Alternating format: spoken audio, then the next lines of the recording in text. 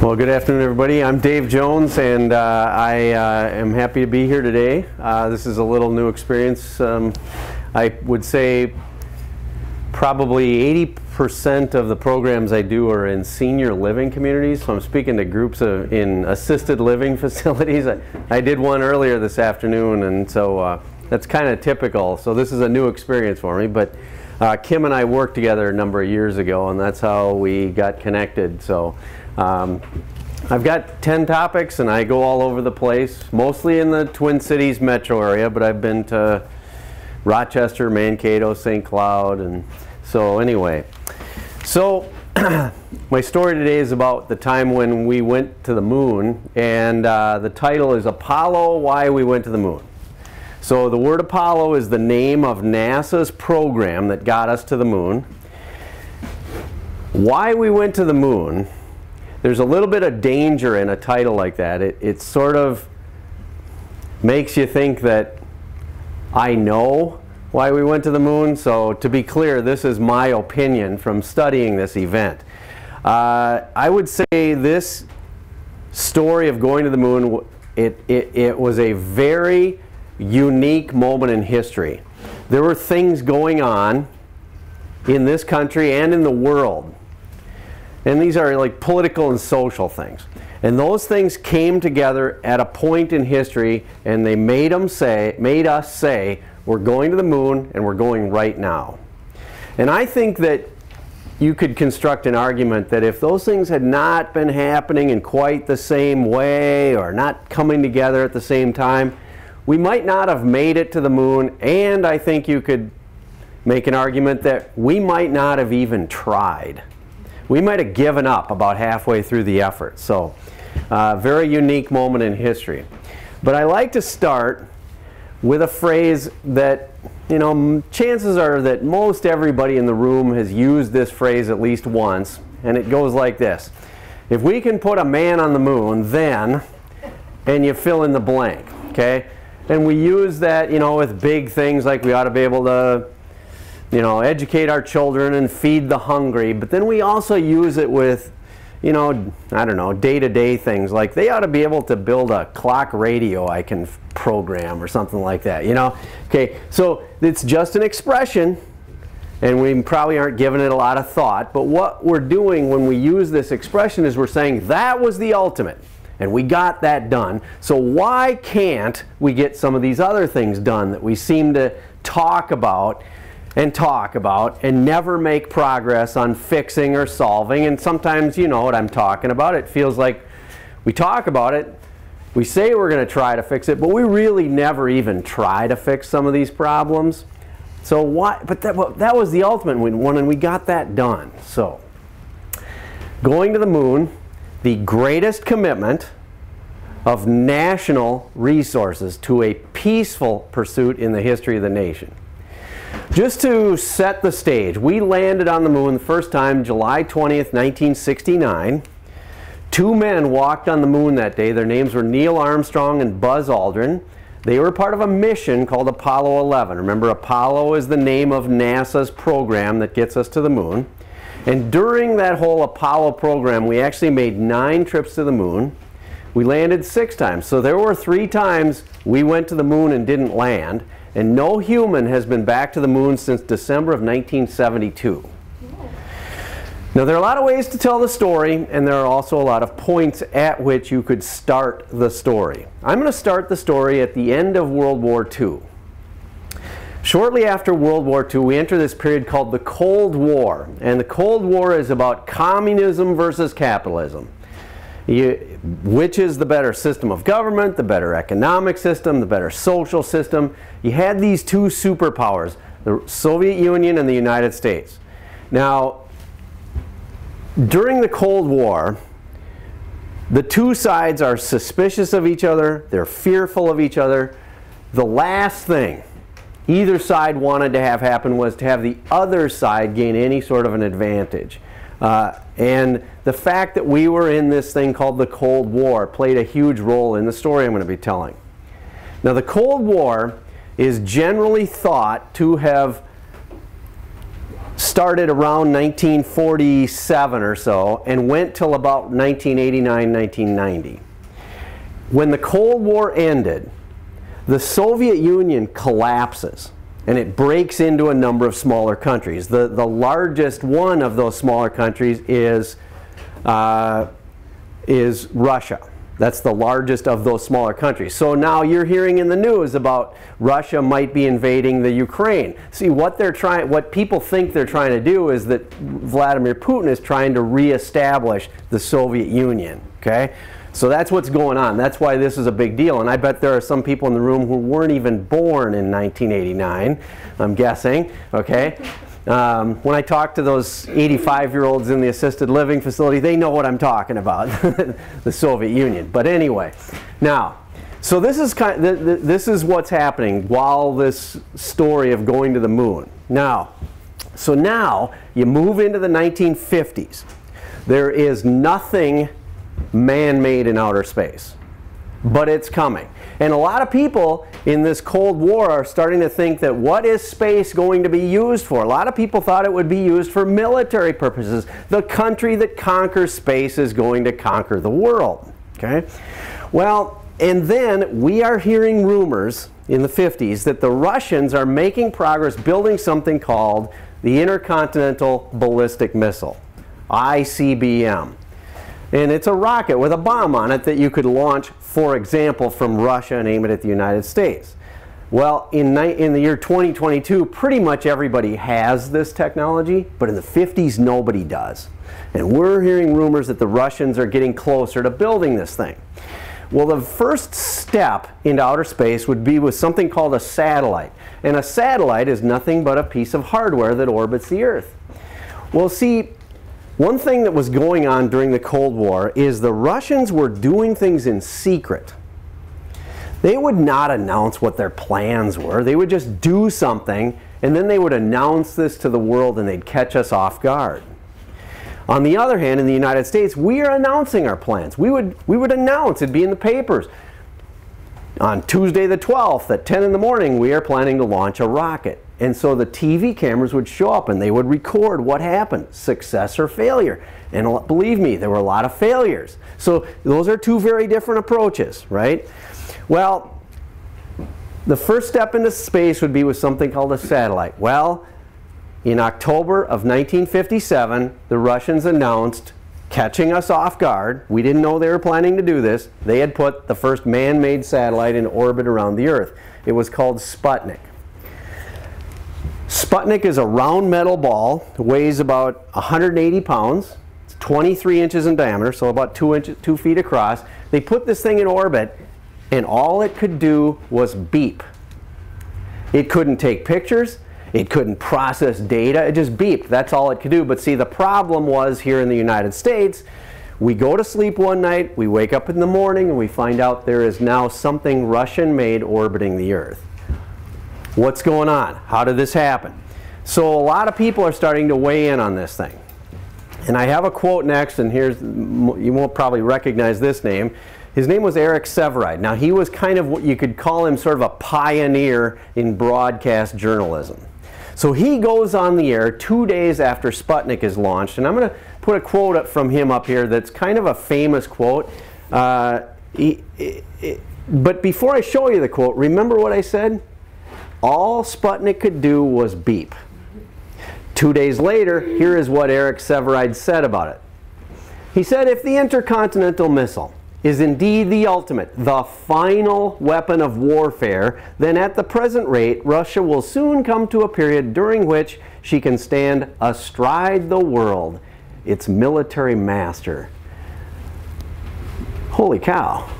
In 2022, you read that and you want to say, calm down here. Now, yeah, that was a big achievement. But what you're saying, what he is saying, now this is the middle of the Cold War, he is saying the sky is falling and the world is coming to an end. So you're fanning the flames of fear and concern. So the next thing I'm going to do is show you two short video clips, and these are each just about a minute long. And these are newsreels. Now, uh, many of you could probably ask your grandparents about newsreels. This was something before people had TVs, you could go to the movies and they would show this thing before the movie started. It was one of the ways that people would learn about what's going on in the news. And I love newsreels as someone who loves history because they sort of take you back to a moment in time and here's what people are worried about and here's the way they talked and the way they dressed and the way they thought.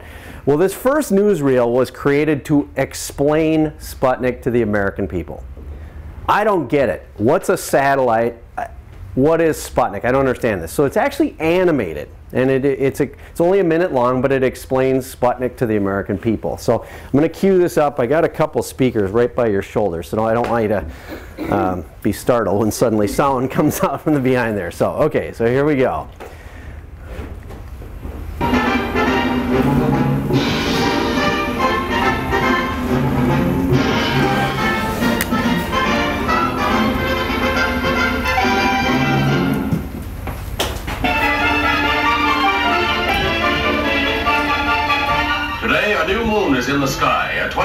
23-inch metal sphere placed in orbit by a Russian rocket.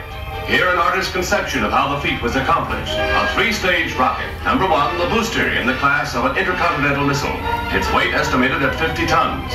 The smaller second stage took over at 5,000 miles an hour and carried on to the highest point reached.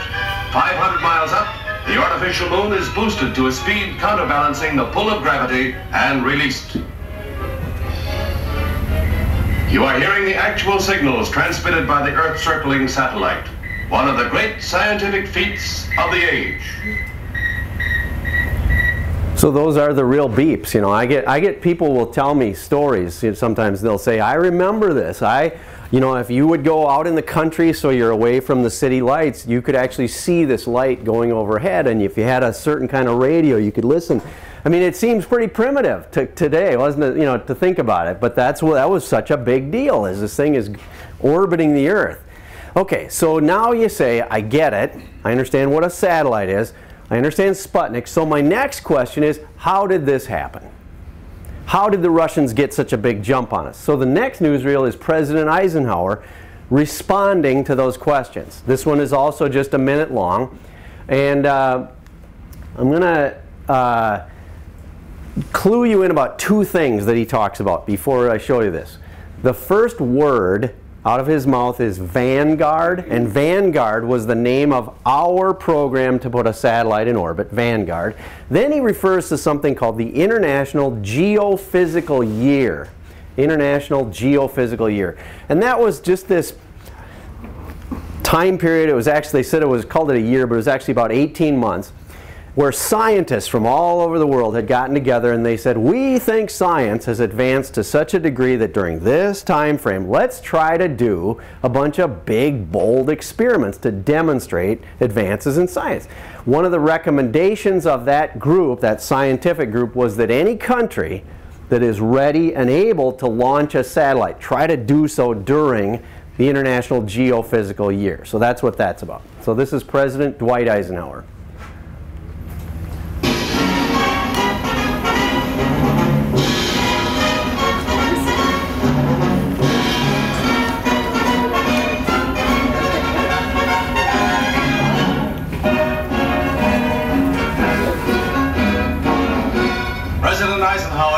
Reassures the nation that Russia's success with the first satellite does not indicate a serious lag in American rocket research.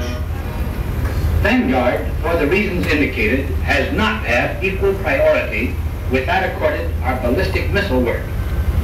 Speed of progress in the satellite project cannot be taken as an index of our progress in ballistic missile work. Our satellite program has never been conducted as a race with other nations. Rather, it has been carefully scheduled as part of the scientific work of the International Geophysical Year. I consider our country's satellite program to be well designed and properly scheduled to achieve the scientific purposes for which it was initiated. We are, therefore, carrying the program forward in keeping with our arrangements with the international scientific community. Okay, so what the so what the president is trying to do here is he's trying to say to everybody, let's calm down. Yes, the Russians made a big, you know, advancement, but don't worry because we have plans. We're working on them. We're moving forward. So just just calm down, everybody. That's what he's trying to do. So the next thing I want to talk about, the next thing I want to show you, is related to President Eisenhower's approval ratings. Now, President Dwight Eisenhower was a very popular president. He served two terms, eight years. His approval rating, get this, was usually between about 55% and 75%. Now today, I don't care what party you're in, nobody gets approval ratings like that anymore, okay? So he was very popular president. So I have a chart that tracks his approval rating over time, and here it is. So the green, that's the those are the people saying, I think he's doing a good job. Okay, the red are the disapprovals. He's doing a bad job. The yellow are the, you know, 10% of people who will, you know, pretty much always answer, I'm unsure. Okay. So his approval rating reached its peak in the fall of 1956. So he's up for re-election. Okay? And he has a 79% approval. Imagine that the American people get a chance to say, should we give this guy another term as our president? And he has a 79% approval rating. Well, guess what? The 56 election was a landslide. Well, then after the election's over, things will back off a little bit. Almost a year goes by. It's now the fall of 57 and Sputnik is launched. Look what happened to his approval rating after that. It dropped down to 49%. Now, what that says to me is that the American people are not listening to the president who's saying, calm down, everybody, we're on track. Instead, they're listening to people like that Eric Sevareid who said the sky is falling and the world is coming to an end. So I, I would bet that President Eisenhower thought, okay, clearly the American people are not buying what I'm selling. We need to do something concrete and substantial to show both the American people and the world that we are serious about space. So that 49% comes right at the beginning of 1958. In the middle, in the, in the spring of 58, we have a report from this group, the President's Committee on Outer Space. They lay, issue a report and they lay out the science, and there's you know all kinds of science, of course, and they try to put it in terms that in theory the average person could just pick it up and read it and understand what you're talking about. And also, they made the case. This is going to be risky. This is going to be expensive. So here's why we think it's worth it. We need it for national defense. We need it for global prestige. You know, the Russians have gotten ahead of us. We're not looking quite as good. We want to know what's out there. We have this longing Humans, as humans, we have this longing to know what's beyond Earth. And so for these reasons, we think it's worth it to pursue space. So then the president makes a move. Now that's that's March of 58. In the middle of 58, the president makes a move that I think was brilliant.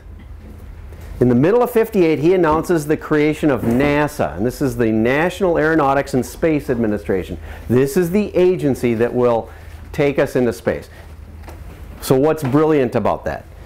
Well, up to this point, each one of the branches of the military were sort of competing or vying. They each one wanted to be christened as the space agency. Each one thought we could do space better than anybody else. And Dwight Eisenhower says, no. He says NASA is going to be a civilian agency. And that was a statement in the middle of the Cold War that the United States is not looking at space as being about conquering the world.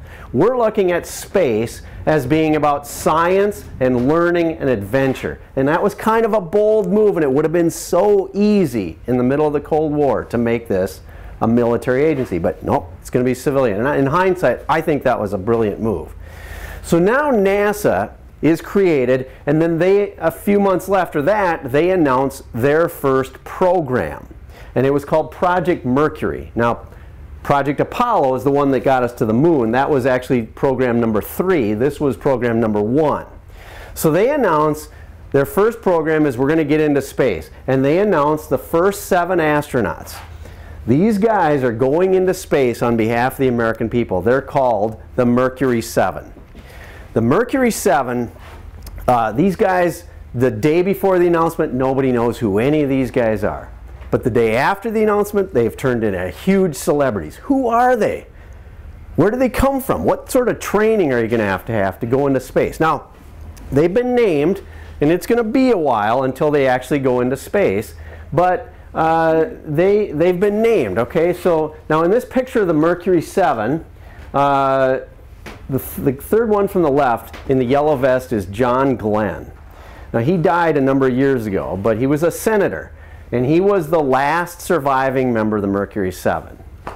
So, uh, and some of these other names that you might recognize, Alan Shepard, Gus Grissom, Grissom Scott Carpenter, Deke Slayton, uh, mm, anyway, more, like, don't quiz me on the Mercury 7. I, I could, uh, uh, Wally Schirra, and I think I'm missing one, but anyway. So anyway, so these guys were famous for their day, okay? So it's going to be a while till they go into space, but they've been named and they're going to start training. So now we move into 1961, and we have a new president, John F. Kennedy. He takes office in January 61, and, and in his presidency, we were having some problems. The first few months, really, real serious problems. And people were starting to question, does this guy have what it takes? So four months into his presidency, he goes to Congress and he delivers a very famous speech in May of 61. And in this speech, he says, I believe this nation should commit itself to achieving the goal before the decade is out of landing a man on the moon and returning him safely to the earth. Now, when he was saying that's our goal, we didn't know how to do that, but he was saying we'll do this and we'll get it done. We'll figure it out and we'll do it and we'll do it before the end of the 1960s. Now, part of what he was trying to do was change the focus of the nation. You see, he was trying to say, look, folks, don't, let's not keep talking about all these problems we've been having the last couple months. Let's look ahead. Let's look to the future. We're going into space. Let's go to the moon. Let's talk about stuff like that, not these problems we've been having. Well, the way that he laid this thing out, it created a quantifiable goal. And what does that mean? Well, up to this point, people are saying, we can't let the Russians beat us. We have to win. But how would you ever figure out who wins in something like space exploration? But the way he laid this thing out creates a goal it is, it's just like two kids on the playground at recess. Hey, I'll race you to the end of the playground and back. First one back wins. And everybody in the room did it at one point, and we all understand it. We know what the deal is. And they say that, that even if you were somebody in this country and maybe you had no involvement in the program, no interest, don't care about it a bit, you could still articulate what the ultimate goal was. And they say there are estimates that maybe as many as 400,000 people worked on this program in some capacity or another. Some of them it's like designing a little switch or something like that. 400,000 people, and every single one of them would have been able to say, This is our goal. There's no question. That becomes critical in terms of uniting and unifying us. Well, you may have heard when I played the clip of President Eisenhower, he says, we do not consider this to be a race with other nations. Well, sorry, Mr. President, but that is exactly what this turned into. So I'm going to hit some of the high points of the space race. So the space race starts, I'm, I'm leaving out a lot of stuff, just I'm hitting some of the high points. Space race starts October 57 with Sputnik. And then people would say, okay, that's all good and fine, a piece of hardware in orbit around the Earth. I wonder if a living being could survive in outer space. So, the Russians won this one again. They again they caught us by off guard a month after Sputnik. They announced catching us off guard. They had put a capsule with a dog inside of it. It was a female dog named Laika, and they put it in. They, they announced that they put Laika into orbit, and they said she did just fine. She survived and thrived in outer space. Now, here is what they announced in 1957. They said, we don't currently have the technology to bring her back to Earth. So after a few days in orbit, Laika was euthanized. But the Soviet Union collapses about 1990, and a, about a dozen years later, some information the Russians had kept hidden away leaks out. And we found out what really happened. Now this is 1957 and we didn't find out until about 2002 or 2003. What really happened on that flight, the dog was not euthanized. What happened was After about six hours in orbit, the dog essentially roasted to death. Now, what if we would have known that in 1957? That would have changed how we viewed this thing, you see? But as it was, we saw one success, two success. We don't even have a satellite in orbit. We're way behind. So another month goes by. We're ready to launch Vanguard, our first satellite. So we announce the date and the time. The TV cameras uh, show up. The rocket lifts up off of the launch pad, goes up in the air about 10 feet, and the rocket explodes. The satellite never makes it into orbit. Now, if you want to see something, Google Vanguard rocket explosion and watch this video on YouTube. It is the biggest fireball you have ever seen. And nobody got hurt. It was all unmanned, but it is the biggest fireball you've ever seen. So we're way behind. We're never going to catch up. And it's not until the end of January 58 we finally get our first satellite called Explorer 1. So now we're in the game, but we're it feels like we're still way behind. So both countries continued doing things. Now it's 1961 and we're ready to put the first, or, I'm sorry, they're talking about putting humans in space. Well, guess who won that one? In April of 61, the Russians announced they'd put a cosmonaut named Yuri Gagarin into orbit around the Earth. First human in outer space. And it was about three weeks later that Alan Shepard became the first American in space. Now, you might look at that on paper and say, three weeks, you know, that's not, that's not too much. But then people would say, wait a minute, now, wait, wait, wait. Let's compare these two missions. Al this is Alan Shepard's mission. He launches, goes up in the air, and came right back down. The whole thing lasted 15 minutes. Crossed into space for about five minutes. That's all it was. Yuri Gagarin actually orbited the Earth. That's far more difficult, far more complicated, and far riskier. So people would say, you can't compare these two. We're still way behind. Now, it isn't until early 62 when John Glenn becomes the first American to orbit the Earth. And this sort of becomes a turning point. People started to say, well, okay, maybe now there's a chance that we can catch up and get ahead. And, and by that point, we also now had the goal of the moon. Okay? So a little bit of a turning point. Why we went to the moon? First of all, competition. Competition makes you push, strive, catch up, get ahead, stay ahead, meet your deadlines. If you're not competing with somebody, it's easy to let deadlines slide. Also, as we move through the 1960s, we had what I call a martyred president. John F. Kennedy set, is the one who set us on this course, and then he was assassinated in 1963. And then I think as we move through the 60s, that becomes a factor. We need to do this in his memory as part of his legacy. And then we decided as a nation to commit unlimited money to this program. Now, I don't mean truly unlimited, but I want to show you something. I have a chart that tracks the budget for, for NASA. It's, a, it's adjusted for inflation. Here it is. Today, the budget for NASA, I think I need to update that. It's actually more like 22 or 23 billion with a B every year for NASA. Uh, but and really adjusted for inflation, you can see it's been pretty flat for decades. Now the red line is when we landed the first time. See that peak back there? A couple years before we land? So that's, the, that's when we make extra investment to get what we need to make it to the moon. That peak, adjusted for inflation, is $46 billion in one year. That's more than twice what we spend on NASA today. So when I say unlimited, I don't mean truly unlimited, but it feels like you're starting to get close to it.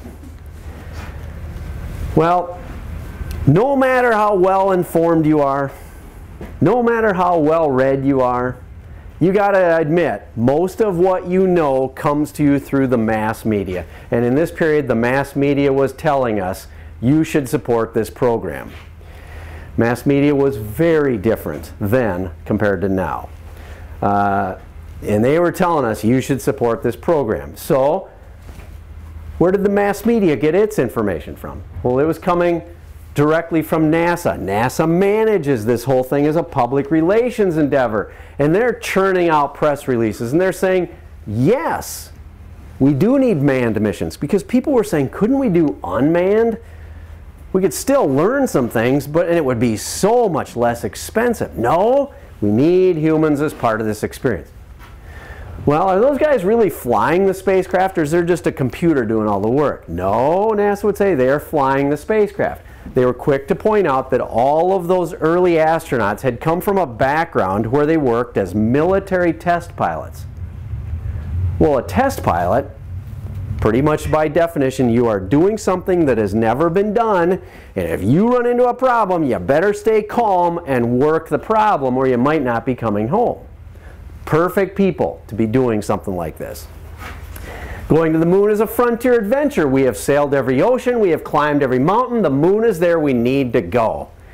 Well, there was a guy in the mass media who was hearing all this messaging from NASA, and his name was Henry Luce. Now, he was the publisher of a magazine called Life Magazine.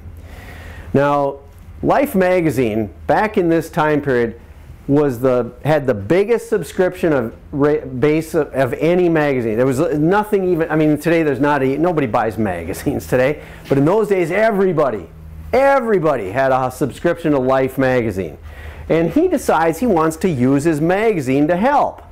So he. He, he supposedly was a rabid anti-communist. He hated the Russians and he loved the space program. He saw this is our chance to move ahead. So Life magazine cuts a deal with NASA. Life, and this is very well documented, Life magazine paid NASA $500,000. Now this was in the late 1950s. The money went directly to the seven astronauts, and then in return, Life magazine gets exclusive behind the scenes access to the astronauts and the program. And so they start churning out issues like the one on the left are the seven astronauts, their life stories. Well, then we want to know what do their families think? So the one in the middle, those are the seven wives. And then the one on the right, it says John Glenn, the making of a brave man. So you have this magazine with this huge subscription base. And by the way, that magazine has an exclusive behind the scenes access deal to the astronauts in the program. So people, you know, and then also the American people are kind of curious about this. And so here your, your issue shows up in the mail. And so you open it up and you, it was a picture magazine, so it told stories through pictures. So that you look at the pictures and then you read the stories that go with the pictures. And those stories would have themes like apple pie, patriotism, and national defense. The messaging in those stories was you are unpatriotic if you don't support this program.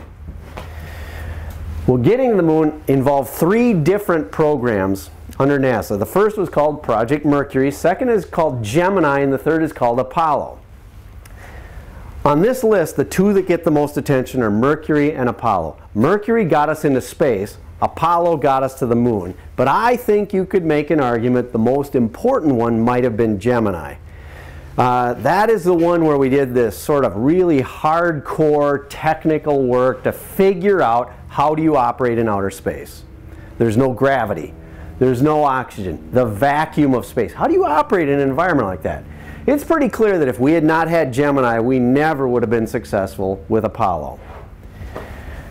So we've been through Mercury, we've been through Gemini, we're ready to start the Apollo program. It's 1967, we have a chance, the end of the decade is coming, but we have a, still have a chance to make it. So the Apollo program is starting. Well, it got off to a horrible start. In January of 67, there was a mission that we named Apollo 1. They were doing what amounted to a dress rehearsal for a launch, you know, so you have three astronauts in their spacesuits, locked in the capsule, and they're going through checklists and flipping levers and pushing buttons in the prescribed order. And then they're talking to mission control. You have all those guys at their consoles in mission control and everything. It was a test. It was everything but the final button to, to launch the thing. The test was going very badly. They kept running into one problem after another after another. And then in the middle of the test, something inside the capsule caused a spark. The spark turned into a fireball, and those three astronauts died in less than a minute. This was the beginning of the Apollo program. So first thing is we just have to figure out what caused the fire. And then we also had to say, why are we having all these problems? What is going on here? So we take a full review of the program. And as a result of that full review, we stopped sending humans into outer space for more than a year and a half. The fire is January 67. The next manned mission was October 68, and that one was called Apollo 7. The ones between 2 and 7, between 1 and 7 were unmanned. Well, Apollo 7 goes pretty close to by the book, so it looks like we have fixed our problems. We're back on track. So now I'm going to show you the steps we took to get to the moon. Apollo 7 stays in Earth orbit, goes pretty close to by the book, okay? The next one is Apollo 8. Well, what can they do to get us closer to our goal? I think you could say that Apollo 8 might have taken a risk that was bigger than actually landing on the moon. Apollo 8 went to the moon. Now, they don't even have a spacecraft with them that can land on the moon. They went to the moon, orbited 10 times, and came home.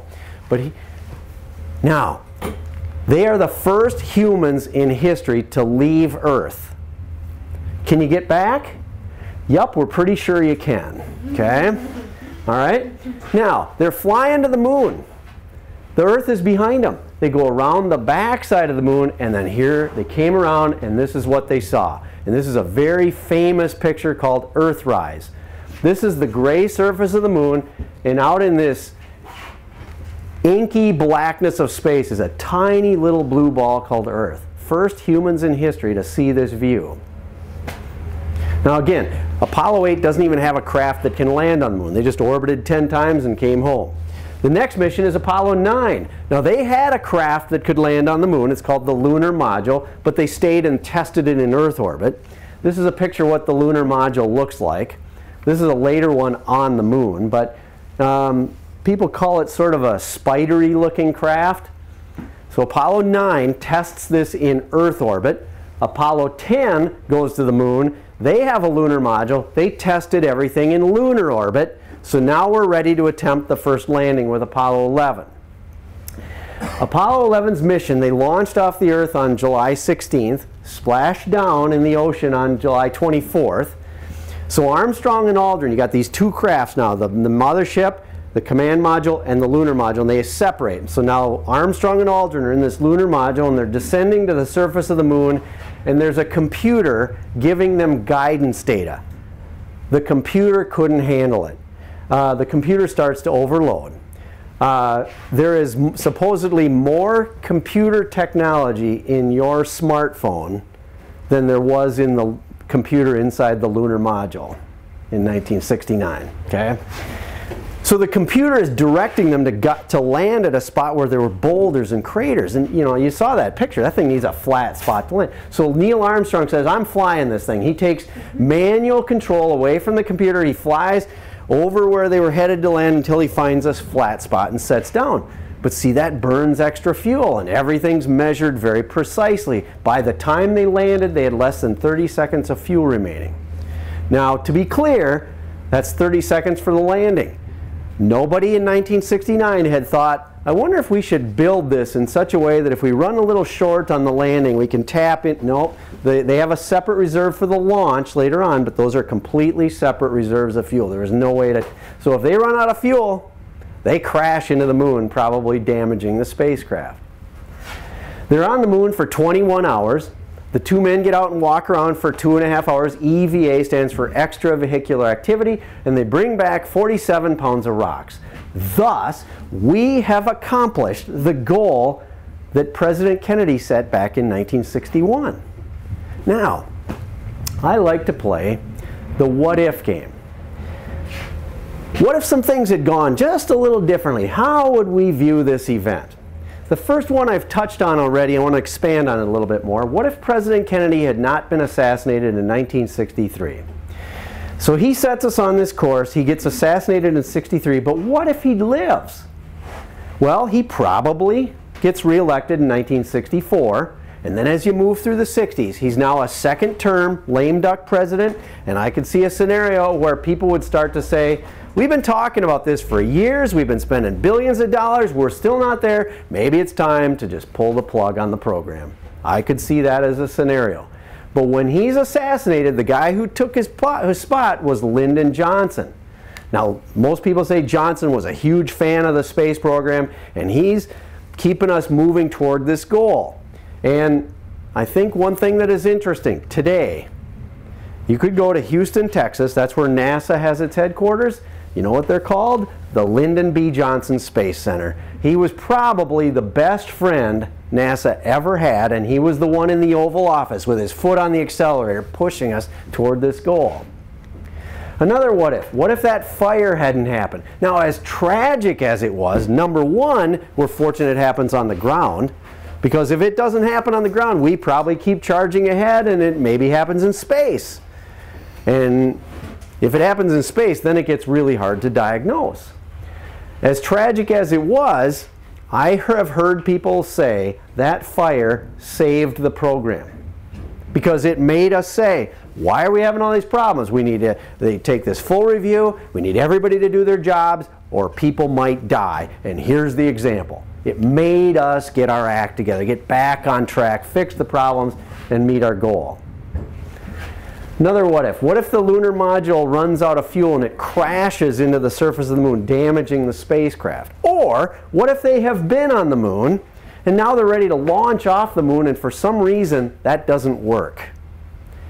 Either way, there was no provision for any sort of a rescue mission. If those two guys couldn't get off the surface of the moon, they would have died there. Now, how would we view this event today if that had been the outcome? Well, let's see, we accomplished half of President Kennedy's goal. We got to the moon, but we couldn't get off of it. It would be viewed as one of, I mean, it's not, it's not like they're up there and they, they were killed. They're still alive, but they ain't coming home. Imagine if that had been the scenario. Um, the last what if, what if a moon bug was found? there were people saying, you're going to this alien environment, there's got to be a bug, a virus, a bacteria, an organism, and you're going to bring back rocks and dirt on your spacesuits, and you're going to, going to unleash this thing on the human race, and we're completely unprepared. So as a result of that last concern, the Apollo 11 astronauts had to go into quarantine for almost three weeks. They're plucked out of the ocean, taken to the deck of a ship, and they actually had a, an Airstream trailer on the deck of the ship, and they went in there and shut the door, and then those guys had to spend three weeks. There's President Nixon, uh, is now in office by that point, and he's on the deck of the ship talking to him. But those guys had to spend about three weeks having all kinds of medical tests done to them. Well, they didn't find anything. So the next mission had a shorter quarantine and so on until they just said there is no such thing as a moon bug. I'm getting kind of close to the end, but I get asked a lot about what's going on today. You know, and it's, I'll, I'll, confess, I find this history, this story I've been telling, far more interesting than what's happening today. There are people saying we need to go back to the moon. There are people saying we need to go to Mars. There are people saying we need to go to the moon on the way to Mars. We have billionaires spending their fortunes to take people into space for seven minutes at a time and so on. And I, I don't know, it's interesting, but it's not as interesting as this history. I, today, we don't have a clear focus. In the 60s, everybody knew exactly what the goal was the, the moon. There was no debate. But today we're kind of all over the board, so it, it seems hard to believe that we're going to be able to come to some kind of agreement. We really don't have very much competition today. We have a little bit, there's no debate. We do have some, but it's nothing like the competition was in the Cold War with the Soviet Union. Also, the budgets have been flat. And I don't know. I think if we're going to do some of these things, we're going to have to spend some more money. Now, I don't know. Maybe if, if we have, um, you know, wealthy people, billionaires who want to spend their fortunes to help this effort, that's, you know, that's a, that's a, a wild card that I, I can't account for. But uh, if it's going to have to come from the government, from us, I don't know. I have a hard time imagining that there's going to be broad bipartisan support for spending a lot more money in outer space when we have so many problems here on Earth. I just have a hard time. I feel like we're going to announce these plans and we'll get it a few years down the road and Congress flips, the White House flips, and now we've totally changed directions and we scrap the program. That's what I think is likely to happen. So we'll see. Now, I have one more video. Uh, this one is President Kennedy. So he made two famous moon speeches. The first was May of 61, where he just set us on this course. Then in September of 62, so a little more than a year and a half later, he goes to Rice University in Texas, that's right out in Houston, and they were getting ready to build the NASA's headquarters there. And so he goes there and gives a speech. Uh, and by this point now, plans have been a little more crystallized and so fleshed out a bit and so on. And he delivers this speech. Uh, and it's the video is about two minutes long. But in the video, he first of all they're they're they're giving the speech on the football field, so he makes a football joke. And then also, it's apparently very hot there that day, so he makes a joke about how hot it is. So, but anyway, this is kind of a an interesting little video, and so here we go. Why some say the moon? Why choose this as our goal? And they may well ask, why climb the highest mountain? Why 35 years ago, fly the Atlantic? Why does Rice play Texas? We choose to go to the moon. We choose to go to the moon in this decade and do the other thing. Not because they are easy, but because they are hard. Because that goal will serve to organize and measure the best of our energies and skills. Because that challenge is one that we're willing to accept, one we are unwilling to postpone, and one we intend to win, and the others too.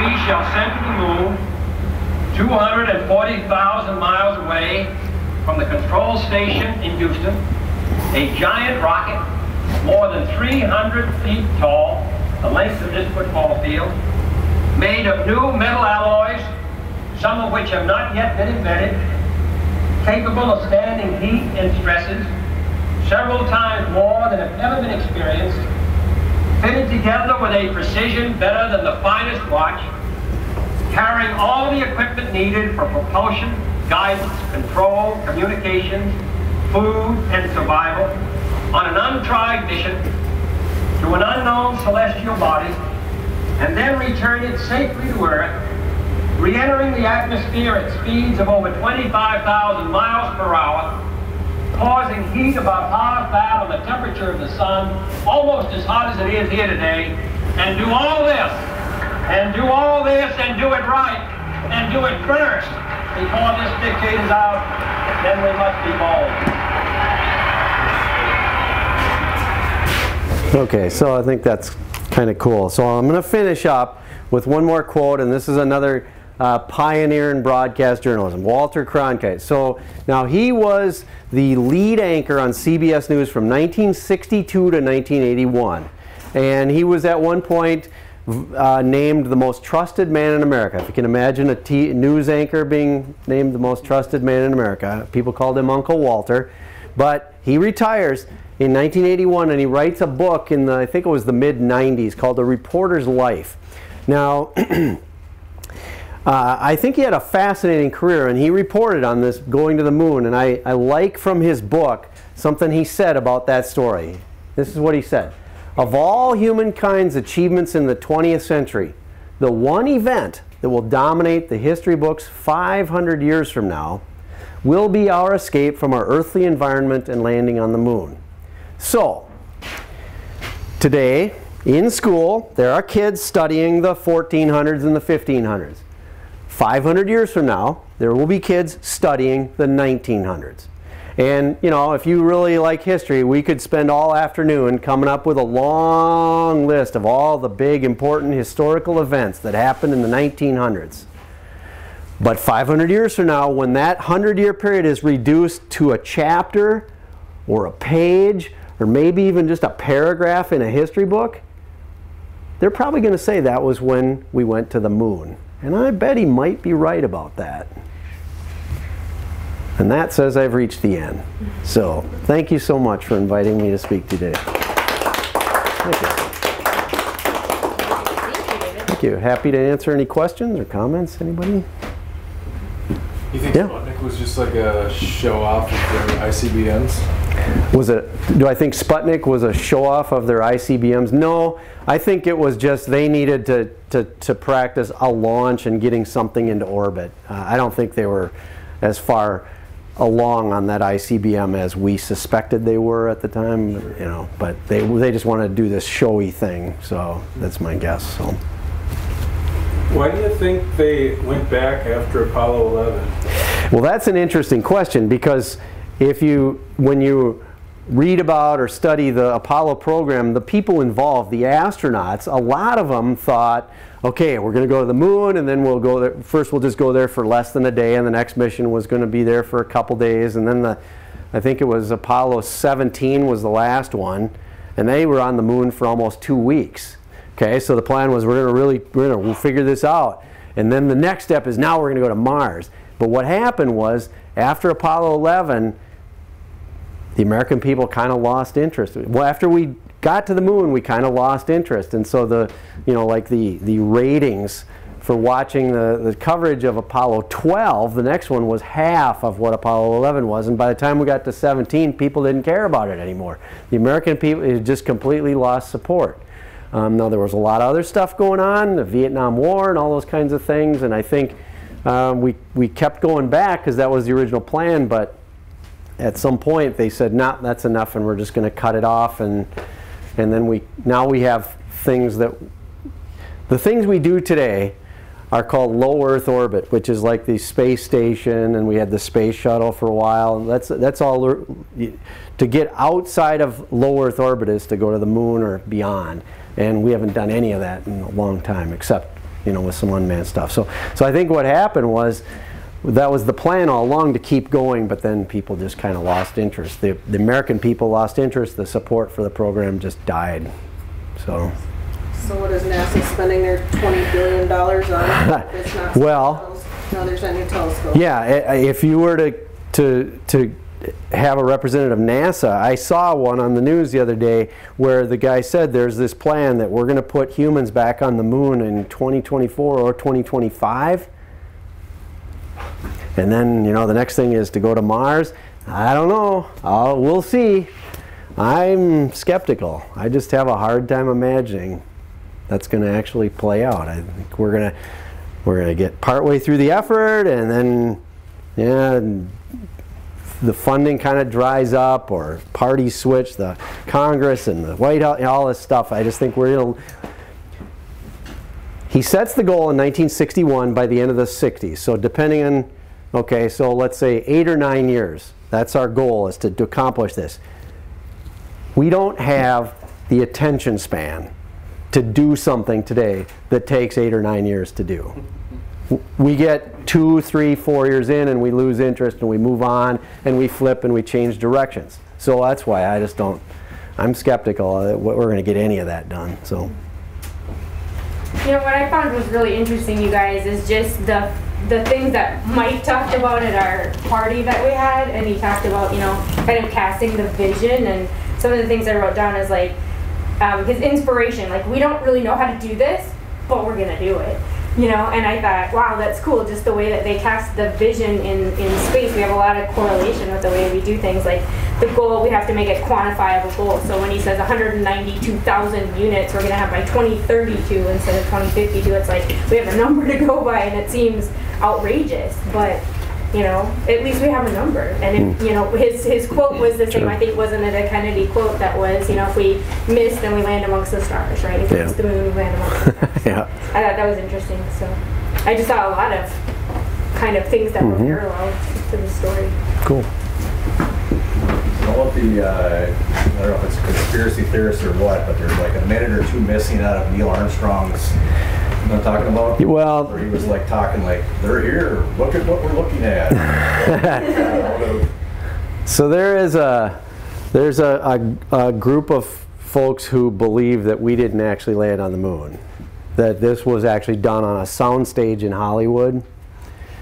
Uh, and what happens is they take the videos and the and the pictures and they they claim to see things in the background or they're saying something you know like if something is missing from an audio well how do you how do you prove that it's not missing? You know it's like proving a negative is very difficult. So um, I don't know. You, you, in the end of the, at the end of the day you kind of say either you believe we went to the moon or you don't. I believe we did. If, if you say we didn't, then why did we do it six times? You know, why didn't we just do it once and say, okay, we're done? But we, we did it six times, so why? Has that supposed missing, missing audio ever been talked about, actually heard that audio, you know what I'm talking about? or- Yeah, well, I, I can't remember exactly that, that specific detail, but usually what they're saying is, like here, let me give you an example. So they'll say, okay, here are these pictures of these guys on the moon, and, and you look in the background and you can't see any stars. Well, why? What, because there weren't any stars, because they were in Hollywood on a soundstage. Well, the, the answer to that is the reason we can see stars is because of the Earth's atmosphere, the way the light shines through the Earth's atmosphere. That's why we see stars. Okay? That's the answer. But if you don't know the answer to those kinds of things, it seems persuasive.